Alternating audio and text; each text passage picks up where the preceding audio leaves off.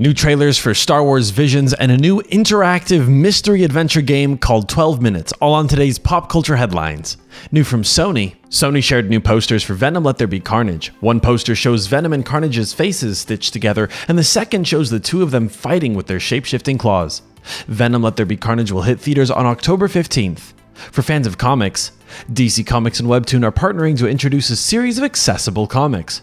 Webtoons will feature standalone stories that don't require any previous readings of all your favorite DC Comics characters. There is no further news about the DC Comics and Webtoon collaboration at this time.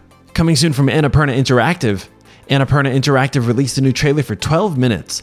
The game will follow Aaron, a man stuck in a violent time loop trying to avoid his own fatal ending. The interactive adventure mystery game stars James McAvoy as Aaron, Daisy Ridley as his wife, and Willem Dafoe as the detective that brutalizes their family. You can solve the mystery of 12 minutes when it's released on August 19th. New from Star Wars. Star Wars released a new trailer for Star Wars Visions. The trailer gives us a glimpse at many of the new stories from the seven visionary Japanese anime studios. The series will reimagine the galaxy with nine brand new original stories. Star Wars Visions premieres on Disney Plus on September 22nd.